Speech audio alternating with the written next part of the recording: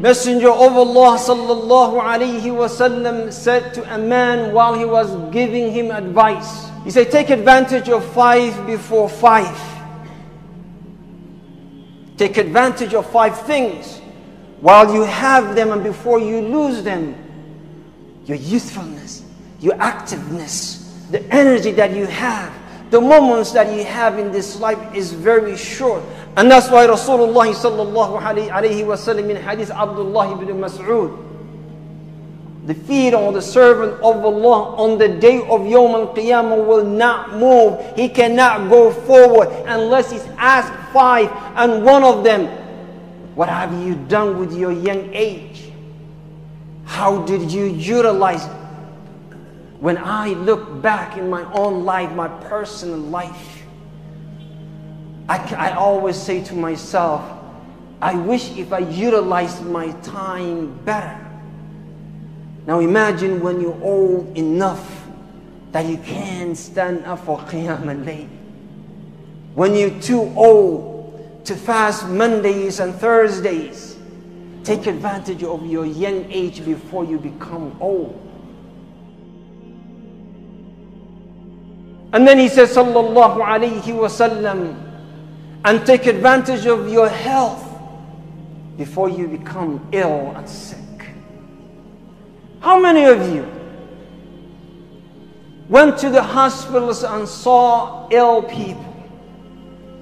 See, human beings are arrogant, very arrogant. You know, when you're healthy, you think you're unstoppable. You think, you know, you have so many opportunities. You think you have so many chances. Do Umrah, I'll do it later. Do Hajj, I'm still young. Learn this deen, I still have chance. You know, come and pray Qiyam al-Layl, inshallah. I have to work tomorrow, but I'll do it inshallah during the weekend. And then you get sick. Abdullah ibn Mas'ud he wept while he was sick. And the people said, Ibn Mas'ud, are you crying because Allah is testing you with illness? He said, No. Not crying because I'm sick.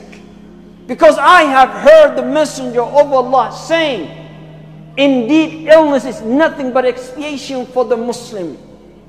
When you're sick, Allah washes you away from your sins. He said, But I'm sad because I got sick when I was as, not as active as I should be in ibadah.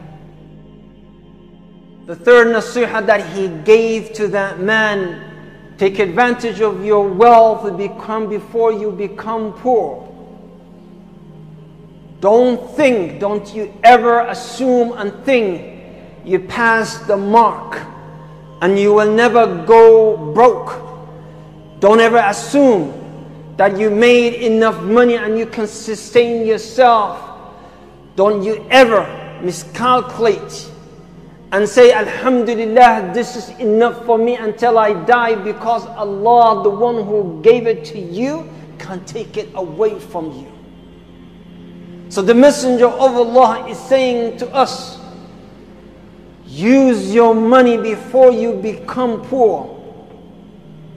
He did not mean go and waste your money.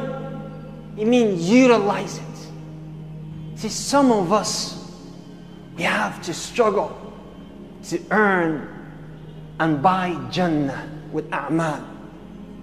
Some of us, because we don't have much money, we have to read extra Quran.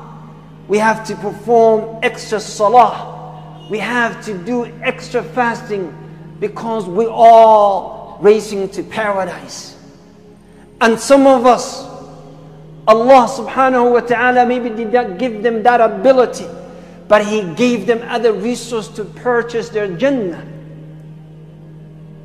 Yet, some of us don't understand formula of Allah.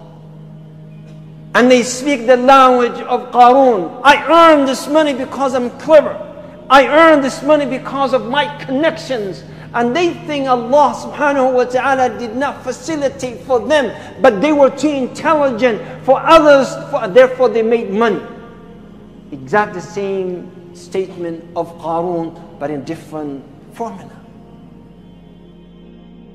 He said, O young lad, take advantage of your free time before you become busy all of us once again we have lots of free time and we waste it in unproductive activities activities that do not bear any fruit in this world and the next.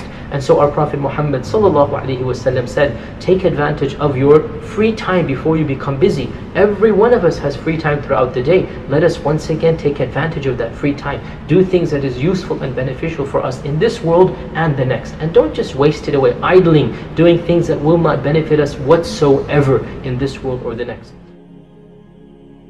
and then the Messenger of Allah sallallahu alaihi wasallam, and he said, "You utilize your life before your death.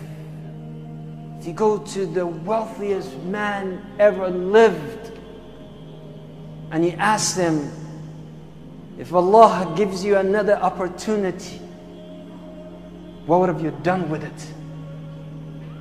Allah, that person would say, I would never run after dunya. I would spend my time worshipping Allah and being righteous. I have seen the most profound picture in my life. And this was the picture of King Abdullah. May Allah have mercy on all the Muslims. On his grave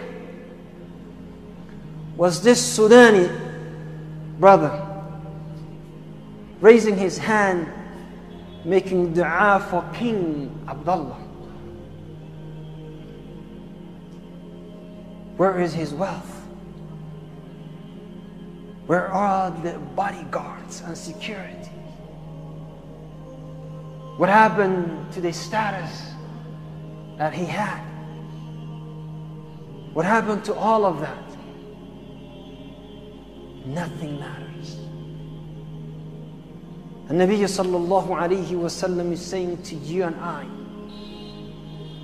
take advantage of your life before you die. And Nabi sallallahu alayhi wasallam, he sees the Sahaba gather in one place and he run towards them and he came to them sallallahu alayhi and they were surrounding a grave and the Messenger of Allah penetrated the crowd and he saw the grave and his legs could not carry him sallallahu alaihi wasallam and he went down on his knees and he looked down and his beard was touching his chest. And the tears were coming.